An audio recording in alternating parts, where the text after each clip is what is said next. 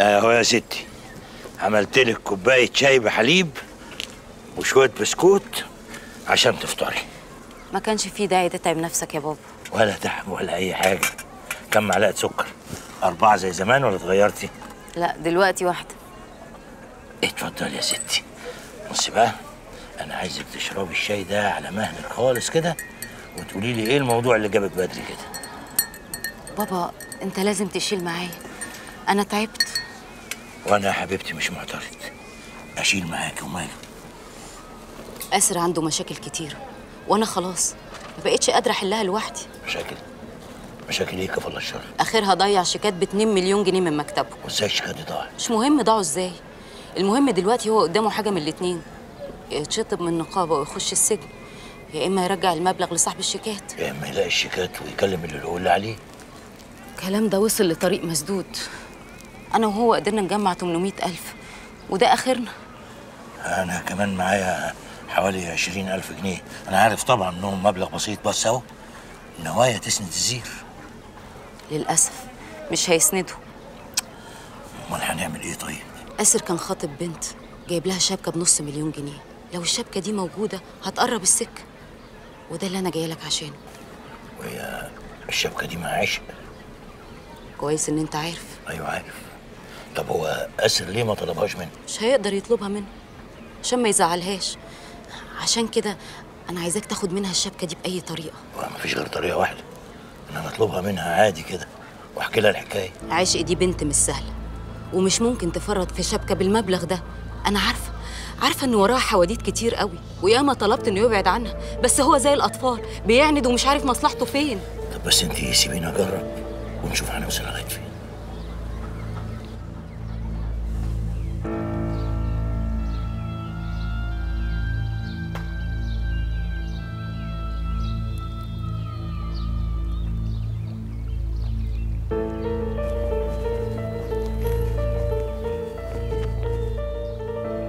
منى مالك؟ صباح الخير. صباح النور يا حبيبتي. أيوه يا عم أيوه. عيب يا بنتي أنا نظرتي ما تخيبش ابدا. الطقم طالع مظبوط قوي عليكي. بجد يا مالك مش عارفة أقول لك إيه. يعني أنا كل ما أبص في المراية بحس إني مش عارفة نفسي. ما تقوليش كده. بقول لك إيه؟ طالما كده بقى تعالي معايا أنا عندي طقم تاني عايزاكي تقيسي لا لا لا معلش سامحيني. مش هقدر اتأخر على الشغل بجد. مش هأخرك دول خمس دقايق بس. ولا رجعنا للكسوف تاني؟ لا لا لا بس يعني كده كتير قوي. وبعدين أنا كفاية الحاجات اللي خدتها. بلاش هبل. أنا عايزاكي تبقي أرشك محامية في مصر. يلا بقى بلاش بواخر. يلا. تعالي.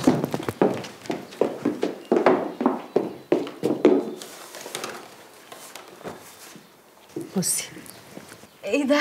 إيه رأيك؟ معقولة؟ بس لا ده شكله غالي قوي. ما يغلاش عليكي يا روحي. يلا خشي قيسيه في الحمام عايز اشوفه عليكي لا مالك انت كده هتحكمي على بيت لبس بالأعدام وأنا خايفة أتعود على المستوى ده. ولا يهمك يا ستي. دولابي كله تحت أمرك. خد. يلا. طيب يلا. هقول. إيه مالك؟ مترددة ليه؟ أصل أنا الصراحه جوايا صراع. صراع يا أوفر. أصل أنا عايزة أشوفهم عليا وفي نفس الوقت بقول يعني خايفة أتأخر وكده ف على فكرة انت اللي بتضيعي وقت دلوقتي. كان زمانك دخلتي قستيهم أيوه أيوه صح صح طيب أوكي.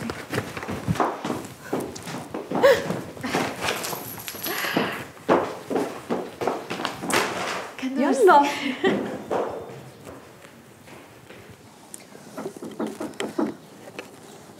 ادخل. أستاذة ليلى.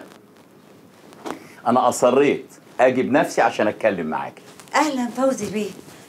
معقولة أول مرة تدخل مكتبي تبقى آخر مرة؟ هو ده اللي أنا جاي عشان أكلمك فيه. اتفضلي أنا عايز أعرف أنت ليه مصرة على الاستقالة؟ الاستقالة يا فندم هتعفيني وتعفي حضرتك من الحرج. أنا جاية النهارده أنهي مشواري في الشركة دي بمنتهى الاحترام. زي ما كنت طول عمري. أيوة بس اللي حصل ده أنت فعلا مالكيش يد فيه والناس كلها عارفة كده. بس غلطت وشغلي في الشركة مش هيخليني أقدم أي حاجة لأن ممكن أكون محل شك ودي حاجة ما ترضانيش بعد العمر ده كله. بس ده أنا ثقتي فيكي زادت بعد اللي حصل. جايز من باب التعاطف لكن بعد شوية التعاطف هيقل. صدقني أنا عملت الصح. ما دام دي رغبتك آه، ربنا يوفقك. بس في كلمة أخيرة. عايز أقولها لحضرتك. أنا اتشرفت بالعمل معاكي ويا ريت ما تحرمنيش من اتصال من وقت للتاني. أنا اللي اتشرفت بالشغل مع سيادتك وفي الشركة هنا. ده؟ إيه رأيك؟ إيه ده؟ إيه ده؟ إيه ده؟ أنا كده ممكن يقبضوا عليا بتهمه انتحال شخصية مش شخصيتي. بجد حلو عليك يا منى هو حلو بس أنا مش هقدر أخده. نعم. هركب ميكروباص إزاي بيه ده؟ لا كده كتير بقى. انت عايزاني أجيب لك عربية كمان ولا إيه؟ لا مش قصدي يعني بس من غير بسبسة. الطقم ده هتروحي بيه النهارده الشغل. ولو على موضوع المواصلات ده ما تاخدي تاكسي يعني ما جاتش من يوم. ولا الأستاذ بتاعك ما بيقبضكيش.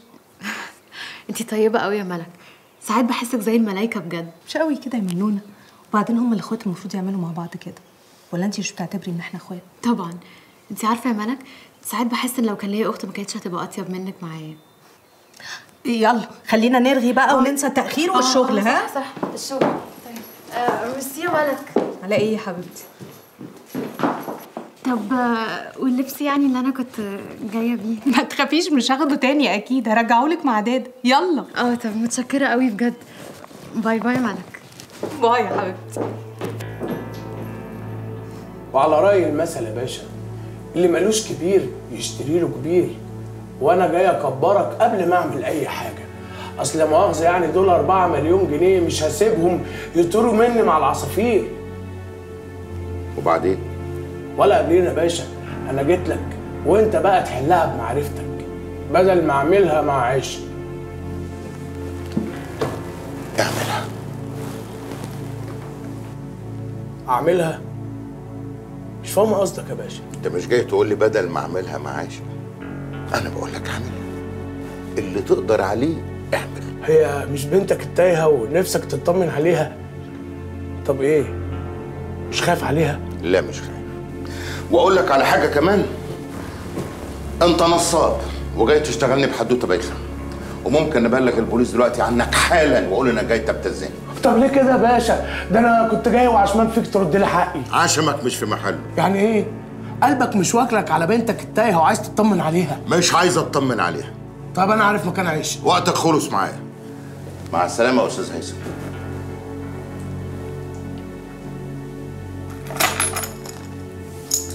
طب أنا أستاذن أنا يا باشا بقى عشان عندي معاه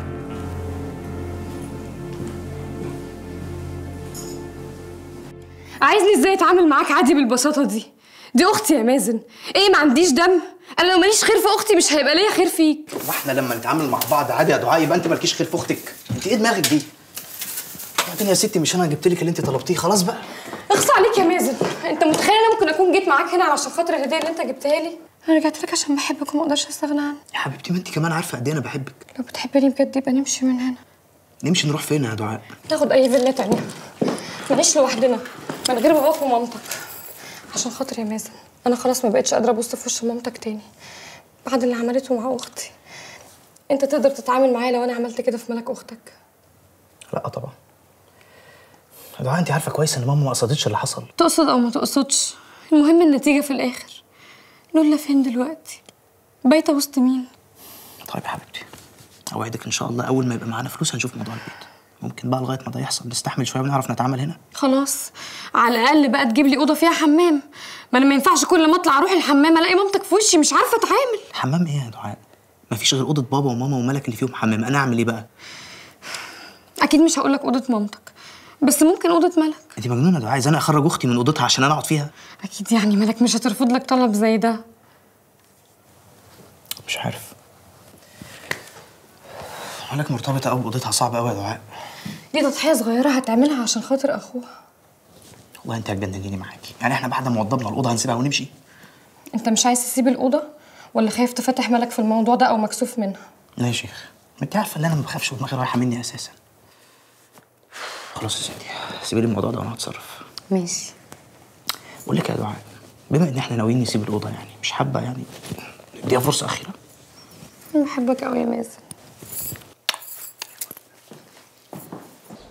دخان تقيل أسود مالي المكتب كله.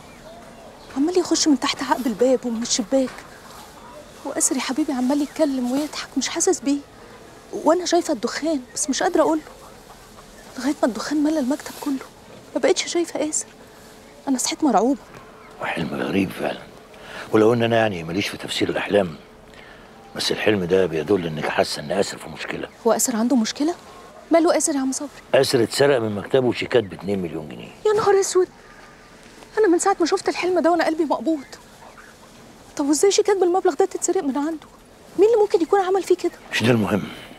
المهم إن آسر لازم يسدد قيمة الشيكات دي لصاحب الشيكات. أيوه بس ده مبلغ كبير قوي.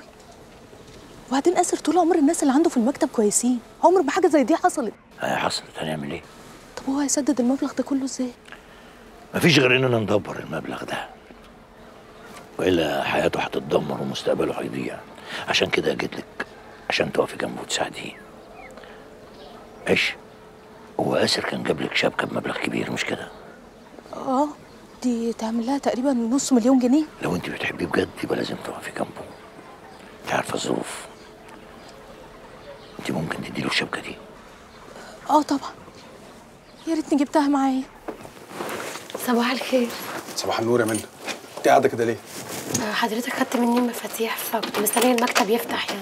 أيوه ما أنا عارف إن أنا أخدت منك المفاتيح بس القعدة شكلها مش حلو. أنا آسفة حضرتك مش هعمل كده تاني. آسفة دي بقى هتعمل لي إيه في المشاكل اللي أنت حطيتيني فيها؟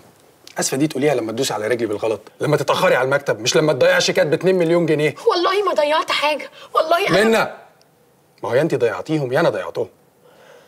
خلاص يا أستاذ اسر أنا مش عارفة أقول لحضرتك إيه. بصراحة ما تقوليش أي حاجة لأن أي حاجة هتقوليها هتستفزني. يعني حضرتك متخيل إن أنا مثلا خدتهم؟ عارف إنك ما اخدتهمش لاني لو شاكك واحد في المية كان زماني مبلغ عنك بس عارف برضو إن ده إهمال.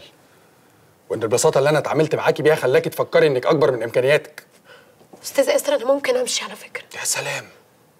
تمشي كده والموضوع يبقى خلص خلاص؟ أنت هتقعدي لغاية ما نشوف الموضوع هيوصل لفين.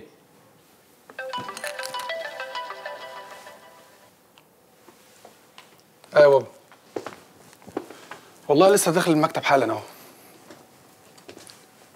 حاضر. مسافه السكه وابقى عندك وأنا مستنيك يا حبيبي. يلا مع السلامة. أنا خايفة نكون غلطنا إن إحنا كلمناه. بالعكس. أنت كنت صح. المنطقة هنا مش أمان قوي والصح إنه يروح معاكي وأنت بتجيبيها بس أنا خايفة يتكسف وما يرضاش ياخد مني الشبكة. يتكسف من إيه؟ ده مستقبله كله. أسر نفسه عزيزة قوي أنا عارفاه. لا سيبي أسر ده عليا أنا.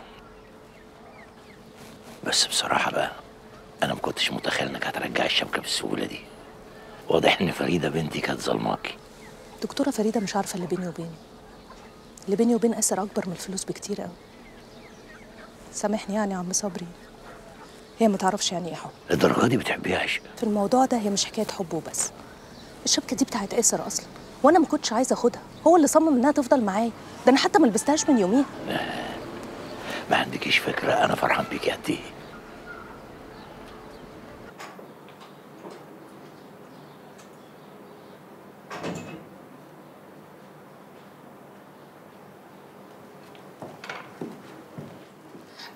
يا بلبل كنت فين يا بنت لغاية دلوقتي؟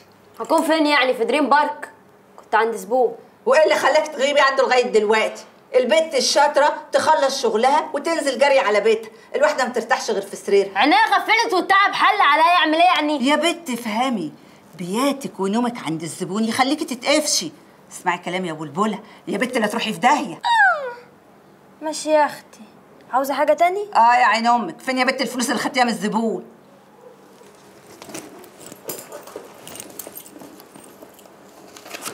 اهي يا أختي. فسحي بقى عشان عاوزه انام. نوم العافية يا حبيبتي. يا لهوي.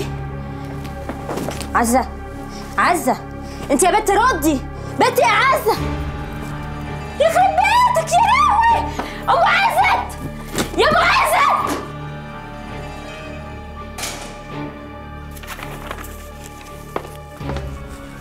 السلام عليكم. وعليكم السلام. الأنسة منا؟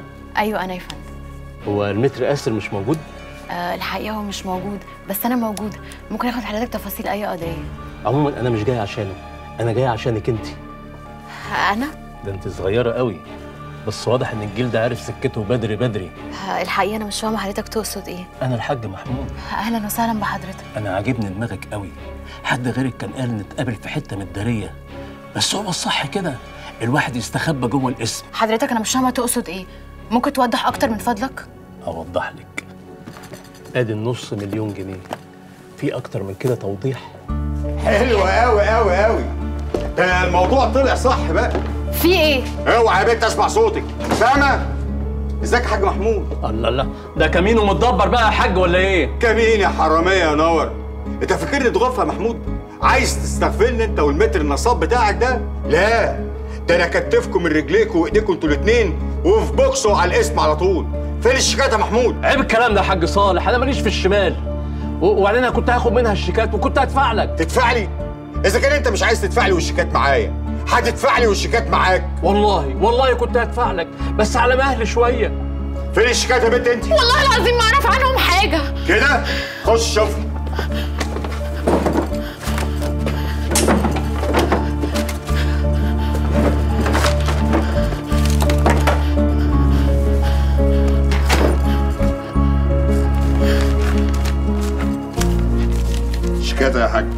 قوي.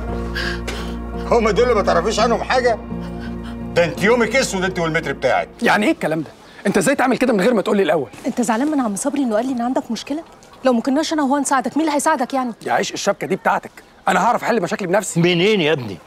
ما هي فريدة قايلة لي على كل حاجة. اسر انت هتاخد الشبكة؟ يعني هتاخد الشبكة. أنتوا الاتنين حاسبينها غلط. حتى لو أخدت الشبكة وبعتها ثمنها مش هيجيب الفلوس اللي المفروض تدفع؟ المبلغ اللي جمعته أنت وفريدة زائد ثمن الشبكة ممكن يسكتوا الراجل. خصوصا إنه ما كانش هيطول الفلوس دي. الباقي بقى يبقى يقسطوا عليه. أنا كلمت واحد صاحبي في البنك عشان يديني قرض بضمان الشقة والمكتب. خلاص هو ماشي في الإجراءات. اسر أنت ليه مش عايزني أساعدك؟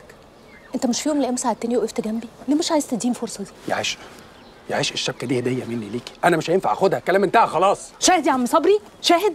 مش عايز نساعده أنا رايح أجيب الشبكة يا ياسر وهتاخدها يعني هتاخدها. يا عيش يا عيش استنى. استنى يا ياسر. يا ابني عشان خاطري. سيبها تساعدك. يا بابا افهمني. عشق ملهاش حد في الدنيا. يعني الشبكة وجودها معاها هيطمنها. أنا ما ينفعش أخدها خلاص. لما تخلص الأزمة اللي أنت فيها دي يبقى هتلاقي غيرها يا أخي. إنما دلوقتي سيبها تساعدك. يا ريت ما تعاملنيش إن أنا طفل صغير وتعمل حاجات من ورايا. بلاش بقى طريق فريدة دي. والله ما قصدي. أنا خايف عليك زي ما عشق وفريدة خايفين عليك. بس كل واحد فينا بيخاف عليك بطريقته.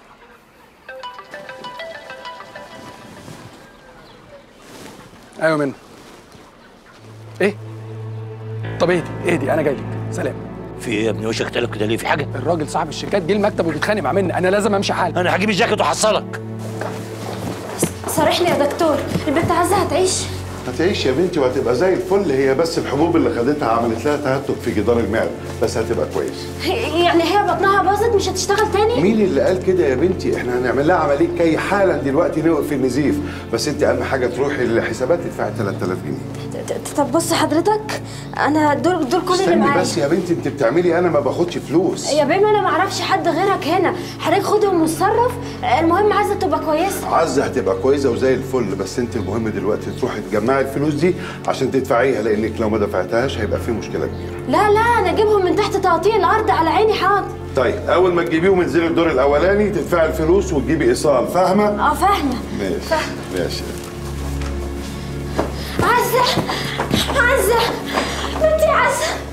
تخافيش يا بنت ما تخافيش هتبقي كويسه أنا هروح أتصرف الفلوس وأجيلك. بنتي عزه شدي حيلك خلي بالك منها. والنبي يا بيه. والنبي خلي بالكم منها. بنت أنا هجيب الفلوس وهاجي ما تخافيش. مش هسيبك يا عزه مش هسيبك. بالراحه عليها. بالراحه عليها والنبي.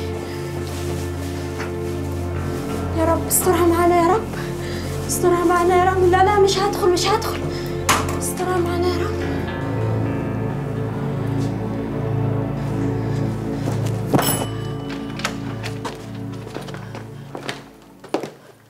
في يا أستاذ صالح؟ وأدي كمان شيخ المنصر وصل اقعد يا أخويا جنب البيت بتاعتك. ما يصحش كده يا صالح بيه. أنت بتسمم عليا أنا ولا إيه؟ بقى تبيعني العدوي وعايز تطبطب عليك. اقعد.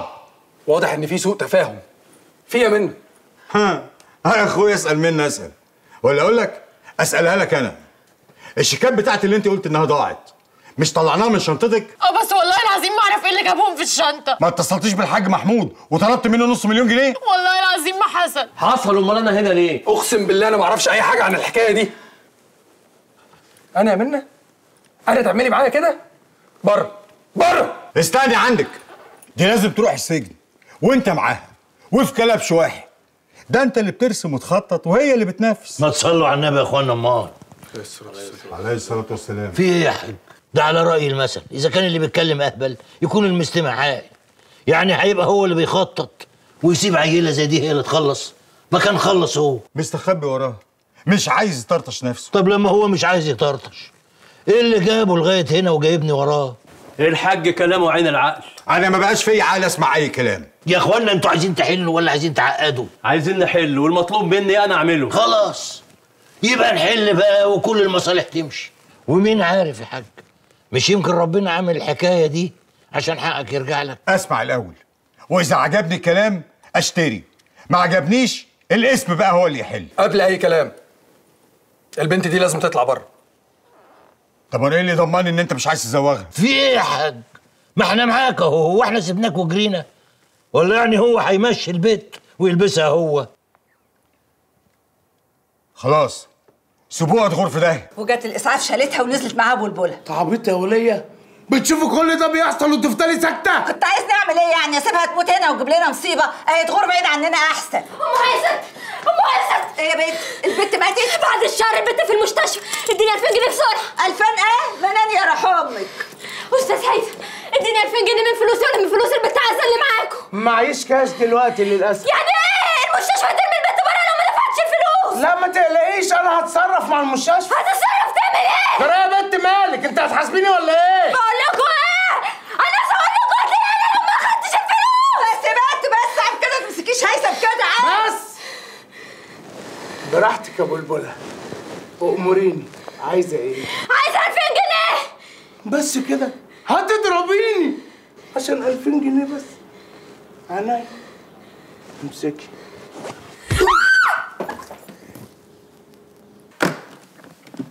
اتفضل يا صالح بيه. النص مليون جنيه ده بتاعك. وبقية حقي. ما هو مش معقول تضحك عليا بالربع وتضيع عليا التلات أرباع. والشيكات بتاعتي اللي ب 2 مليون. كده هتعور أنا يا حاج. إن الله مع الصابرين يا اخوانا يا اخوانا واحدة واحدة. دفتر شيكاتك معاك يا حاج محمود. أيوه معايا بس. ما فيش بس ولا حاجة. أنت هتكتب شيكين الشيك ب 750 موافق. بس على ست شهور ده اللي أقدر عليه. إيه اللي اتنين الشهر ده؟ أنا صبرت عليك كتير قوي طب نقول كلمة الحق. قول يا حاج. بصراحة أنت من ساعة ما اتكلمت وأنت ما بتقولش غير الحق. ربنا يخليك. بص يا حاج محمود أنت هتكتب الشيكين شيك بتاريخ الشهر اللي جاي والشيك التاني بتاريخ الشهر اللي بعده. هو عشان سجدك بكلمتين هتيجي عليا ولا إيه يا حاج؟ لا ده كتير قوي بقى. وبضاعتي اللي في كرشك مش كتير. إيه الكلام ده؟ ملوش أي لازمة يا إخوانا. إحنا كده بنولعها من الأول. إحنا عايزين نحلها بهوات. خلاص. اتفضل. ادي الشيكين القدام تمام. وادي الشيكين الجداد اتفضلوا يا بهوات بتهيألي كده الكل مرضي الحمد لله. الحمد لله. بصراحه متر أبوك ده راجل ورع العقل. شاكرين قوي يا حاج. لا ابدا لا شكر على واجب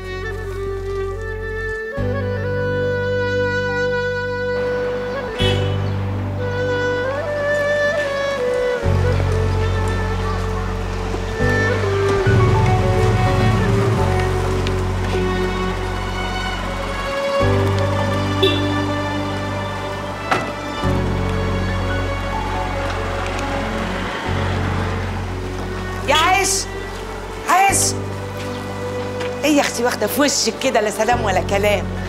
انت زعلانه مني؟ ليه وانت عملت حاجة تزعل؟ معلش ما تزعليش مني. ده دم ابني. مش عايزة حد يدخل بيني وبينه. ماشي. أنا هطلع لعم صبري وبعد كده لينا قعدة. لا صبري نزل مع آسر. تعالي اقعدي معايا لحد ما يرجع. تعالي. طب وهم خرجوا بقالهم كتير؟ لا يا حبيبتي دول بقالهم يجي تقريبا كده نص ساعة ساعة إلا ربع. السلام عليكم. وعليكم إيه يا بنتي يا لهوي اللي في وشك ده؟ مش مهم. فين عم صبري أنا عاوزه اهدى خرج تعالي اقعدي بس على بال ما حاضر حاضر. يا لهوي خرج راح. فين؟ أنا مستعجلة. يا لهوي استرها معانا يا رب. استرها معانا يا رب. هو انت إيه اللي عمل فيكي كده؟ صاحبك يا أختي. صاحبي مين؟ هيثم؟ هيثم هو اللي عمل فيكي كده؟ أيوه. طلبت منه فلوس عشان البنت عايزة في المستشفى قام مديني في وشي. أما راجل ناقص صحيح. طب وهي عزة مالها؟ سلامتها. ما أنا بقول لك في المستشفى بين الحياة والموت على 2000 جنيه. هو انت كنت جاية لعم صبري عشان كده؟ أيوه. طب قومي. قومي تعالي وديني عندها أنا معايا فلوس. والنبي صحيح؟ أيوه. طب يلا يلا. أكيد ما دورتيش في شنطتك كويس. يا ماما الشيكات كانت على وش الشنطة. يعني في حد حاططهم لي بإيده فيها. يبقى أكيد كنت سايبة شنطتك مفتوحة. وحد من زمايلك سهاكي وعملها فيك. وأنا يعني مطلوب مني أفضل ماشيه بالشنطه طول اليوم في المكتب. احمدي ربنا واشكري فضله إنها جت لحد كده. إحنا يا بنتي عاملين زي اللي عايشين في بيت من إزاز. أقل طوبه بتكشف سترنا بس أنا زعلانة عشان الأستاذ آسر دلوقتي شايفني حرامية وخاينة للامانه أنت مش خلاص اتقطع عيشك من هناك؟ ما بقتش تفرق. يفتكر زي ما يفتكر. ولا انت معشمه نفسك بحاجة تانية. لا طبعا بس أنا كنت حاسة إنها فرصة كويسة إن أنا أتعلم وكنت حاسة إن مستقبلي ابتدى بطريقة صح. حبيبتي قضى أخف من قضى المهم إن هو ما بلغش عنك البوليس. كان زمانك بتتبهدلي وإحنا بنتبهدل وراكي. يا ربي طب أنا ليه يحصل فيا كل ده؟ يعني أنا عمري ما قصرت في شغلي في حاجة. أنا بجد حاسة إني اتظلمت.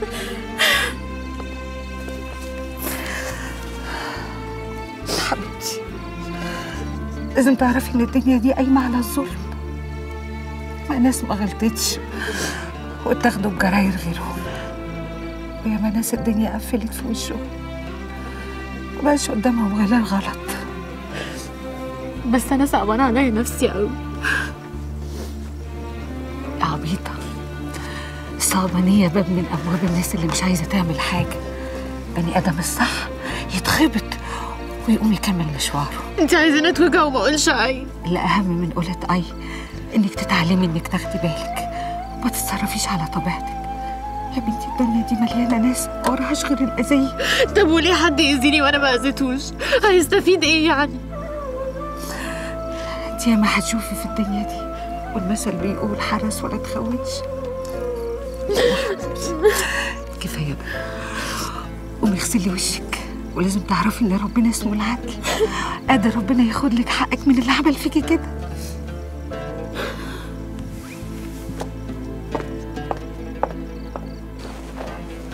وانتوا إيه اللي مصبركوا على العيشة السودا دي؟ قلة الحيلة يا أختي. إحنا ولا ملناش حد. كل واحدة فينا سابت بيتها مفكرة إنها بتهرب من العذاب. متعرفش إن العذاب مستنيها هنا. بقول لك إيه؟ سيبك من الكلام الخايب اللي بتقوليه ده. أنا لو مكانكم اخلص منه ويا روح ما بعدك روح. يا دكتور أنا دفعت فلوس والوصل أهو. وهي بقت كويسة الحمد لله اطمني. أمال ما خرجتش ليه؟ آه، نص ساعة في الإفاقة وتخرج بالسلامه إن شاء الله. الحمد لله على سلامتها. الله الحمد لله على يسلمك يعافيك من كل يشفيك. لا يخلي لك عيالك ما تنضر فيهم ابدا. قادر يا كريم. إيه؟ قلتي إيه؟ فين يو في اللي قلتهولك. يا لهوي. لا هو أنت بتتكلمي جد؟ أمال بهزر. بقول لك إيه؟ مش عاجبك الكلام خلاص. خليكي قاعدة في الهم ده لغاية ما تلاقي نفسك زي عزة ومحدش يلحقك. سلام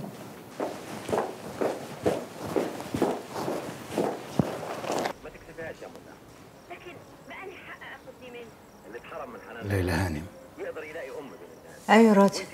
واحد بره طالب يقابل حضرتك. حد نعرفه؟ أول مرة أشوف. طيب حضر له حاجة يشربها وأنا هشوف عايز إيه. حاضر يا فندم. اتفضلي. بسم الله ما شاء الله. صحيح العز بيعز أصحابه. افندم قصدي إن حضرتك لسه زي القمر. نعم. آه، قصدي يعني إن وش حضرتك سمح والطيبة بتبظ من عينيكي. حضرتك مين وعاوز إيه بالظبط؟ أنا هيثم اللبان. الراجل اللي بنت حضرتك ضحكت عليه وخدت شقة عمره ومشيت. أنا واقع في عرضك يا ست هانم ترجعي لي فلوسي. اتفضل استريح وفهمني الموضوع. مالك أخذت منك فلوس ليه؟ لا مش ملك عشق عش بنتي عش انت شفتها؟ أنا هحكي لحضرتك على كل حاجة بس بشرط تضمني لي حقي. بنت حضرتك بعت لي العتبه الخضراء. حضرتك بتهزر. يا ريته كان هزار. ده أنا اتضحك عليا اسخن من إسماعيل ياسين. بنت حضرتك باعت لي فيلا في شارع الهرم قالت إنها بتاعتها. وهوب هبقت ب 4 مليون جنيه العربون وسابتني كده.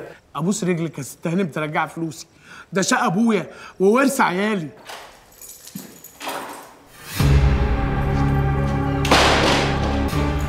مساء الخير عشقي.